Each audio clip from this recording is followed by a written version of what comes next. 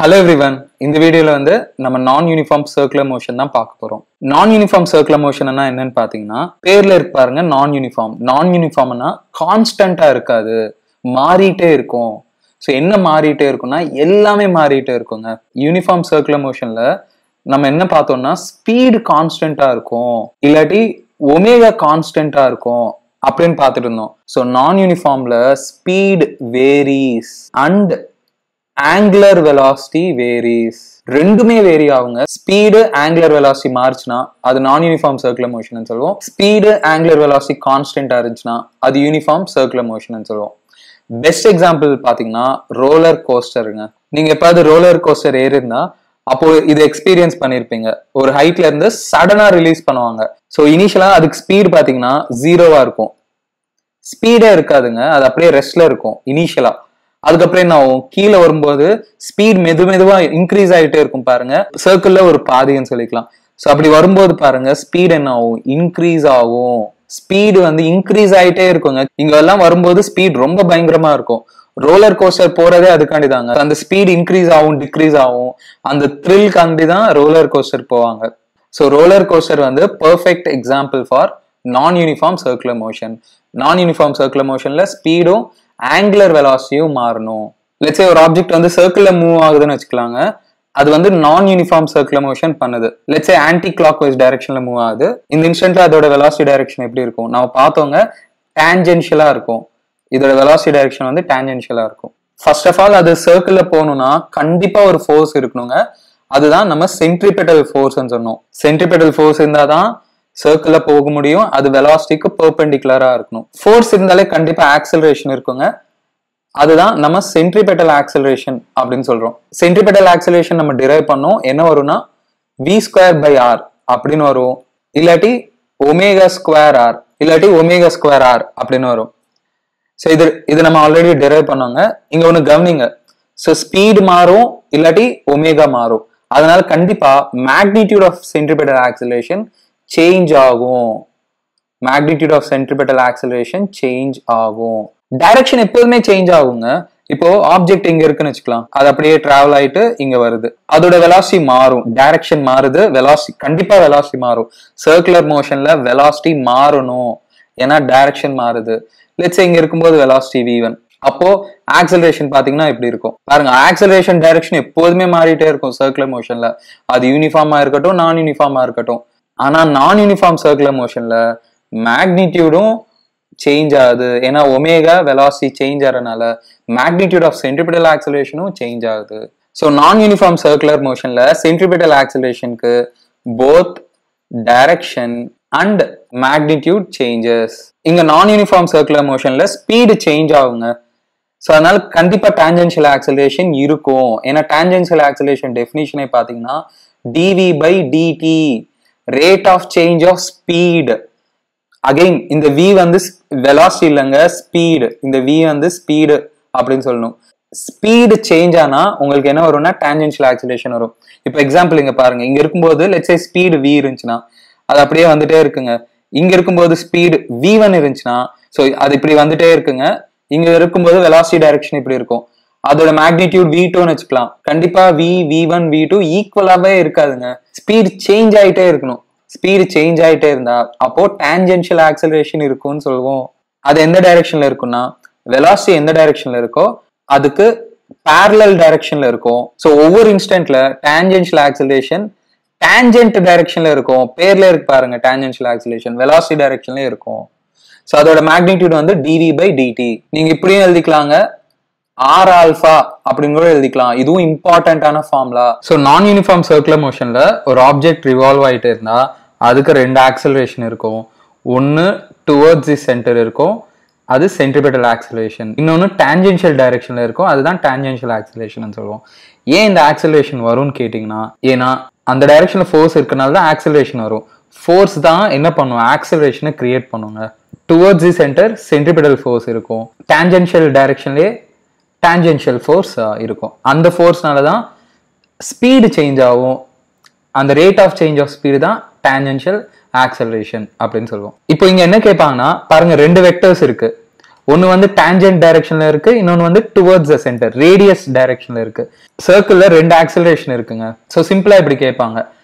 Acceleration of the object moving in non uniform circular motion acceleration கேட்டால் என்ன acceleration உங்களுக்கு doubt வரும். ரெண்டு ஆக்சிலரேஷன் இருக்கும்போது ஆக்சிலரேஷன் கேட்டாங்கன்னா அது எதை சொல்றாங்கன்னா நெட் ஆக்சிலரேஷனை மீன் பண்றாங்க. ஆர் டோட்டல் ஆக்சலரேஷனை மீன் பண்றாங்கன்னு அர்த்தங்க.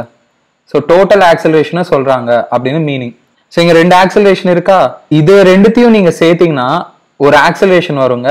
அதுதான் டோட்டல் ஆக்சிலரேஷன் இல்லாட்டி நெட் ஆக்சலரேஷன் அப்படின்னு சொல்லுவாங்க. டோட்டல் ஆக்சிலரேஷன் கேட்டா நிறைய பேர் என்ன பண்ணுவாங்கன்னா ஏசி பிளஸ் ஏடி அப்படின்னு முடிச்சிடுவாங்க ஆனா இது பிளண்டருங்க இப்படி எல்லாம் பண்ணக்கூடாது. ஏன் பாத்தீங்கன்னா ஆக்சலரேஷன்ஸ் வந்து நார்மல் ஸ்கேலர்ஸ் இல்லைங்க. அது வெறும் நம்பர் ரெப்ரசென்ட் பண்ணாது டைரக்ஷனும் ரெப்ரசென்ட் பண்ணும்.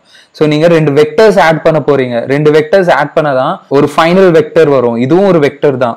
ஸோ அதோட மேக்னிடியூட் எப்படி கண்டுபிடிப்பீங்கன்னா ரிசல்டன்ட் ஆஃப் டூ வெக்டர்ஸ் ஞாபகம் இருக்காங்க?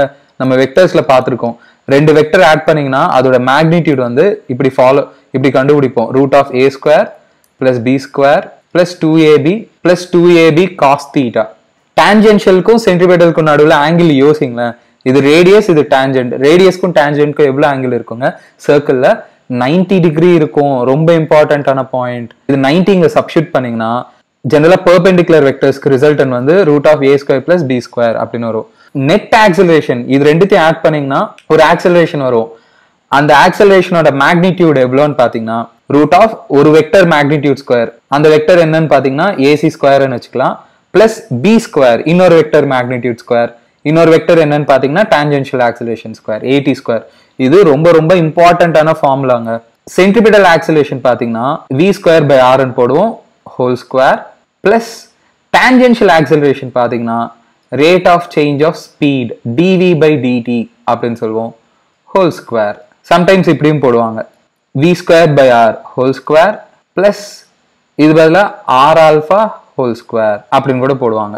சம்டைம்ஸ் ஒமேகாவில் கொடுத்தாங்கன்னா இந்த ஃபார்முலாவை நீங்கள் என்னென்னு எழுதிக்கலாம். Root of R omega square whole square plus DV by DT whole square இது ரெண்டுத்தையும் ஆட் பண்ணால் ஒரு ஆக்சலரேஷன் வரும். அதுதான் நெட் ஆக்சலரேஷன் சொல்லுவோம். அது எந்த டைரக்ஷன்ல இருக்கும் அதுவும் ஒரு வெக்டர் தாங்க. எப்போதுமே ஞாபகம் வச்சுங்க நீங்க ரெண்டு வெக்டர்ஸ் ஆட் பண்றீங்கன்னா வர்ற ரிசல்டன் வெக்டர் இந்த ரெண்டு வெக்டர்ஸ்க்கு இன்பிட்வீன் எங்கேயோ இப்படி இருக்கும். இன்பிட்வீன் இப்படி இருக்கும். இதுதான் நம்ம நெட் ஆக்சலரேஷன் அப்படின்னு சொல்லுவோம். ஸோ இது ரெண்டு வெக்டர்ஸ் ஆட் பண்ணிங்கன்னா ஒரு வெக்டர் வரும். அது இன்பிட்வீன் டான்ஜென்ஷியலுக்கும் சென்ட்ரிபெட்டலுக்கு இன் பிட்வீன் இருக்கும். வெளியில் வராதுங்க. இப்படியெல்லாம் இருக்காது. ஸோ இது நெட் ஆக்சலேஷன் இப்படி இருக்கும். அப்படிலாம் சொல்லக்கூடாதுங்க. இந்த ரெண்டு வெக்டர்ஸ்க்கு வெளியில் வராது. இன்பிட்வீன் இதுக்குள்ளே தான் எங்கேயோ இருக்கும். இப்போ இதுல இந்த மாதிரி கொஷின்ஸும் கேட்பாங்க. Angle made by net acceleration with centripetal acceleration என்ன அப்படின்னு கேட்பாங்க. ஸோ நெட் ஆக்சலேஷன் வந்து சென்ட்ரிபெட்டல் ஆக்சலேஷனோட பண்ற ஆங்கிள் என்ன அப்படின்னு கேட்பாங்க. ரொம்ப ரொம்ப இம்பார்ட்டன்ட்ங்க இந்த ஆங்கிள் கேட்பாங்க இல்லாட்டி இந்த ஆங்கிளும் கேட்கலாம். ஸோ நீங்க ஒண்ணு கண்டுபிடிச்சாலே போதுங்க இது சொல்லிடலாம் ஈஸியா எப்படி இது ஈஸியா சொல்லலாம்னு பாத்தீங்கன்னா நைன்டில இருந்து நீங்க இதை சப்ராக்ட் பண்ணீங்கன்னு வச்சுக்கலாம். ஈஸியா இந்த ஆங்கிள் சொல்லலாம். ஸோ இந்த ஆங்கிள் என்ன இருக்குன்னா 90 மைனஸ் தீட்டா ஏன்னா இது ஃபுல்லா 90யா அதுல இருந்து தீட்டா எடுத்துட்டீங்கன்னா இந்த ஆங்கிள் வரும். அதனால ஒன்னு கண்டுபிடிச்சாலே போதும். ஸோ இங்க நெட் ஆக்சலேஷன் சென்ட்ரிபெட்டலோட பண்ற ஆங்கிள் என்ன அப்படின்னு கேட்டாங்கன்னா இப்போ இந்த ஃபிகர்லேயே பாருங்க. டேஞ்சென்ஷியல் ஆக்சலேஷன் இப்படி இருக்கா? நீங்க அப்படியே இங்க ஷிஃப்ட் பண்ணிக்கலாங்க அந்த ஆக்சலேஷனை அப்படியே இந்த டேஞ்சென்ஷியல் ஆக்சலேஷனை இங்க ஷிஃப்ட் பண்ணிக்கலாம். வெக்டர்ஸ்ல நம்ம பார்த்தோம். இங்க இருக்கிற வெக்டரை நீங்க அப்படியே இங்க டிரான்ஸ்ஃபர் பண்ணலாம். இப்படி ஷிஃப்ட் பண்ணலாம். ஏன் அப்படி ஷிஃப்ட் பண்றோம்னு பாத்தீங்கன்னா சென்ட்ரிபெட்டல் ஆக்சலரேஷனையும் டேஞ்சென்ஷியல் ஆக்சலரேஷனையும் ரெண்டுத்தையும் ஆட் பண்ணாதான் உங்களுக்கு என்ன வரும்னா டோட்டல் ஆக்சலரேஷன் வரும் நெட் ஆக்சலரேஷன் வரும். பாருங்க ஏசி ஏடி இந்த வெக்டர் பிளஸ் இந்த வெக்டர் பண்ணாதான் உங்களுக்கு ரிசல்டன்ட் வரும். அதுதான் டோட்டல் ஆக்சலரேஷன் அதுதாங்க இந்த ஃபிகர் ஸோ இந்த ஆங்கிள் தான் அவங்க கேட்குறாங்க தீட்டா எக்ஸாம்ல கேட்டாங்கன்னா இந்த கான்செப்டை ஞாபகம் வச்சுங்க. ஸோ டேஞ்சென்ஷியலையும் சென்ட்ரிபிட்டல் ஆட் பண்ணாதான் உங்களுக்கு நெட் வரும். இந்த வெக்டர் இந்த வெக்டர் ஃப்ளோல இருக்கு பாருங்க. Resultant starts from tail ends at head of the second vector இது 90 தானே? ஏன்னா சென்ட்ரிபெட்டலும் டான்ஜென்ஷியலும் எப்போதுமே 90 டிகிரியில தான் இருக்கு பாருங்க. அவ்வளவுதாங்க. இந்த ஆங்கிள் கேட்டால் சிம்பிளாக நீங்கள் இதை யூஸ் பண்ணலாம் பாருங்கள் tan theta is equal to opposite என்னங்க இருக்குது இந்த வெக்டர் தானே இருக்குது இந்த வெக்டரோட லென்த் பாருங்கள் மேக்னிடியூட் என்ன? ஏடி பை அட்ஜசன்ட் பாருங்கள் இந்த வெக்டரோட லென்த் லென்த் தான் மேக்னிடியூட்னு சொல்லுவாங்க. ஏசி அப்படின்னு போட்டுக்கலாம். அவ்வளோதாங்க theta is equal to tan inverse of AD by AC அப்படின்னு போட்டுக்கலாம். ரொம்ப இம்பார்ட்டண்ட்டான கான்செப்ட்டுங்க அது. சரி ஏன் இந்த நெட் ஆக்சலரேஷன்லாம் இங்கே கண்டுபிடிக்கிறோம் அப்படின்னு பார்த்தீங்கன்னா சிம்பிள் தாங்க. இந்த ஆப்ஜெக்ட் மேலே நெட் ஃபோர்ஸ் கண்டுபிடிக்கிறதுக்கு. இப்போ அந்த ஆப்ஜெக்ட் மேலே நெட் ஃபோர்ஸ் உங்களுக்கு வேணும்னா சிம்பிளாக என்ன போட்டுக்கலாம்னா மாஸ் இன்ட்டு நெட் ஆக்சலரேஷன் அப்படின்னு கண்டுபிடிச்சிடலாம். ஸோ அந்த ஆப்ஜெக்ட் மேலே ஆக்டரை மொத்த ஃபோர்ஸுங்க நெட் ஃபோர்ஸ்ன்னு சொல்லுவோம். அந்த ஆப்ஜெக்ட் மேலே ஆக்டரை நெட் ஃபோர்ஸ் ஆக்சுவலி இந்த நெட் ஃபோர்ஸை நீங்கள் இப்படியும் எழுதிக்கலாங்க. நெட் ஃபோர்ஸ் ஈக்குவல் டு அந்த ஆப்ஜெக்ட் மேலே என்னென்ன ஃபோர்ஸுங்க ஆக்ட் ஆகும்? ஒன்று டேஞ்சென்ஷியல் ஃபோர்ஸ் ஆக்ட் ஆகும். இன்னொன்று சென்டிபிடல் ஃபோர்ஸ் ஆக்ட் ஆகும். அதுவும் கவனிங்க ரெண்டுமே பெர்பெண்டிகுலராக தான் இருக்கும். ஸோ நெட் ஃபோர்ஸ்ன்னு கேட்டால் இப்படியும் நீங்கள் பண்ணலாங்க. Root of FC square plus FT square centripetal ஃபோர்ஸும் tangential ஃபோர்ஸும் ரெண்டுமே பர்பெண்டிகுலராக இருக்கும்.